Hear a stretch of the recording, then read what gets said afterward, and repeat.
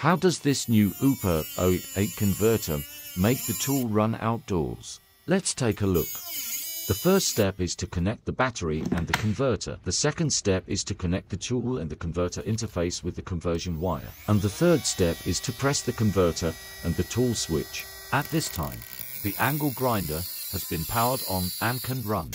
The electric mill is also used in the same steps. The difference is that the electric mill can also perform works such as planing and rust removal by replacing the grinding head.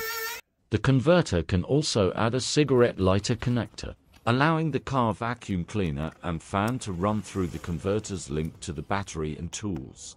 This converter can not only save you high gasoline costs, but also broaden the use range of your existing DEWALT batteries, which is efficient and energy saving, but also facilitates your life. It is really a good innovative tool.